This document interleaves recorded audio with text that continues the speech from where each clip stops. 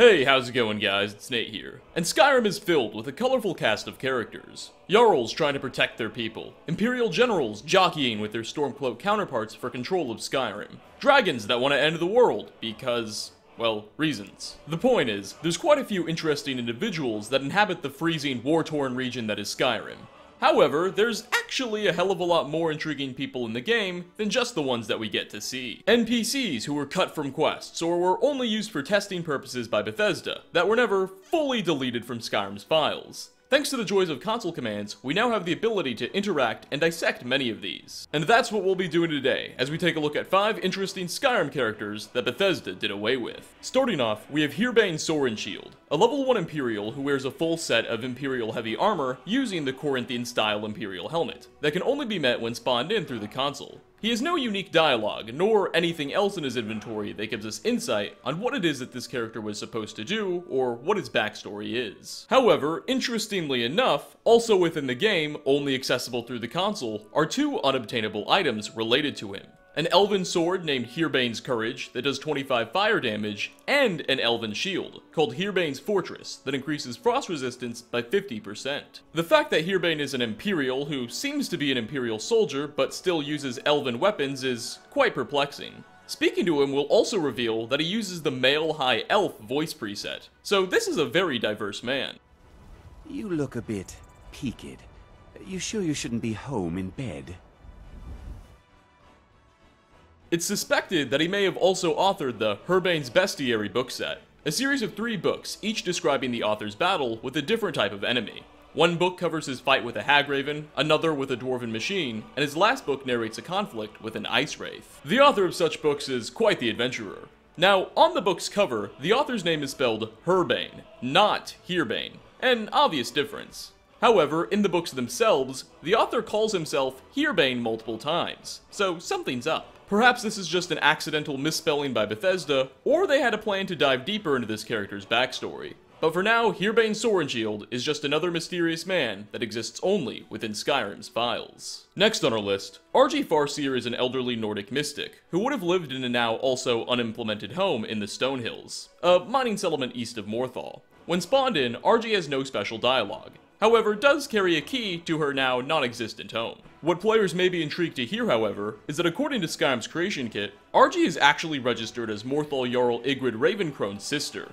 Now, those who are familiar with Jarl Idgrod know that there's something really weird going on with some of her family members. In the base version of the game, her son Joric has strange prophetic dreams about a mage in the town named Falion, and speaks of horrible nightmares. Unfortunately, Bethesda never really bothered to elaborate further on this dynamic, it's likely that there was supposed to be a quest to tie this all together, and Argi would have been involved in it somehow. With a last name like Farseer, perhaps she could have shared her nephew's strange visions and dreams, and provided some insight on what was really going on. Coming in at number 3 is the Daedric god of curses, the betrayed, and those who are orgified, yes that is a word, himself, Malacath. In the game, he's a level 100 Dremora that spawns in with a full set of Daedric armor, minus the helmet, and is very hostile. Now, Malacath can never be seen in a normal playthrough, but his voice can be heard during the quest, The Cursed Tribe, where he promises to help lift a curse from an orcish chief and his people if they can retrieve a specific Giants Club for the god. Spoiler alert, they fail, but it all ends up okay in the long run, thanks to the Dragonborn. Anyway, due to the way Skyrim's engine has been set up, all voices must be assigned to an NPC. That includes those of Daedric gods who you're not supposed to be able to see.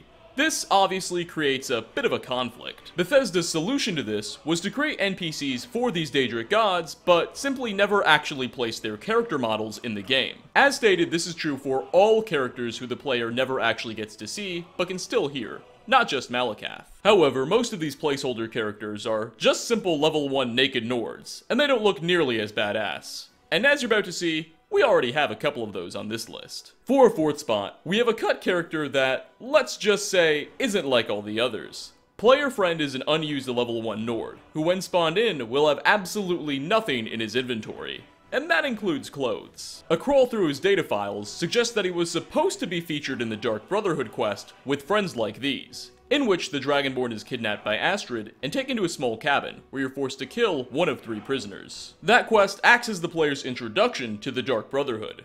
Now, we're not explicitly sure what this character would have done during this quest, but it seems plausible that perhaps Bethesda's original plan for it was for the player to also have to kill someone they've befriended. It would have been a means to prove your worth, and this NPC would have provided the framework for that. What I mean by this is among the three people you had to kill, one of them could have been an NPC whom you've already had a good relationship with, and player friend was probably just a placeholder. Of course, that's just a theory. For all I know, Bethesda just really wanted to have a half-naked guy in the backdrop for moral support or something. And as an honorable mention, before we get to number 5, there is Do Not Delete Me needed for export to work. She's a level 1 Nord that Bethesda evidently didn't delete. And finally, last on this list, we have Castor the Puzzle Maker's corpse. Keep in mind, that's the name of this NPC. When spawned in, Castor the Puzzle Maker's corpse is a Dunmer bandit wizard who will act hostilely towards the player when summoned. But it can be assumed that if implemented in the game with a name like Corpse, he would have been a dead body anyway.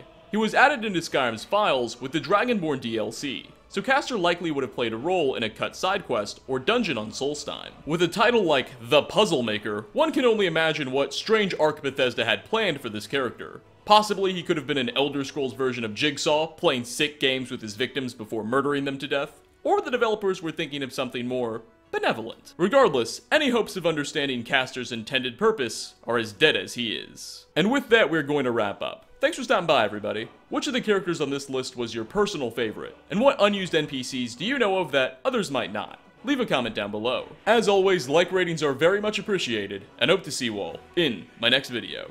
Peace out, everyone.